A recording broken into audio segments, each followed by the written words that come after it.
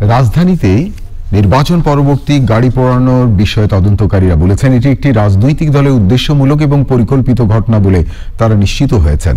তারা জানান, রিমান্ডে জিজ্ঞাসাবাদে এই ধরনের তথ্য দিয়েছে মামলায় আটক বিএনপি নেতাকর্মীরা। বাকিটা জানাচ্ছেন এনামুল কবির রূপম।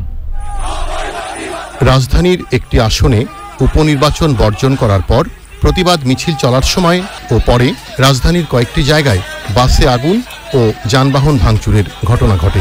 কোথাও কোথাও সরকারি কাজে বাধা দেওয়া হয় বলেও অভিযোগ করেছে পুলিশ।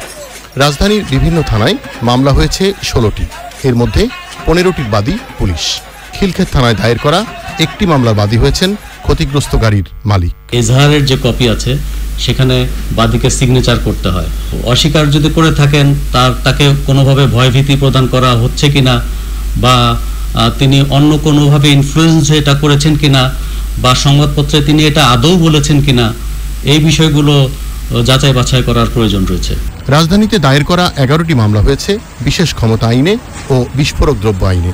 অন্য মামলাগুলোতে ভাঙচুর ও আগুন দিয়ে সম্পদ বিনষ্ট করা সহ সরকারি কাজে বাধা দেওয়ার অভিযোগ আনা হয়েছে। আমরা অবশ্যই নিশ্চিত হয়েছি হাতে নাতে যারা ধরা পড়েছে তাদের কাছ থেকে এর পরবর্তীতে যা তথ্য সংগ্রহ করা গেছে এসব ব্যাপারগুলো নিঃসন্দেহে পরিকল্পিত ঘটনারই পরিচায়ক। আগাম তথ্য থাকে, কিন্তু এই আগাম তথ্যের ফাঁক ফোকর দিয়েও কিন্তু অনেক সময় ঘটনা ঘটে যায়। আসামি করা হয়েছে বিএনপির পাঁচশো আটানব্বই জন নেতাকর্মী সমর্থককে। গ্রেপ্তার হয়েছে কমপক্ষে সাতচল্লিশ জন। এদের বেশিরভাগ রিমান্ডে জিজ্ঞাসাবাদের মুখোমুখি আছেন।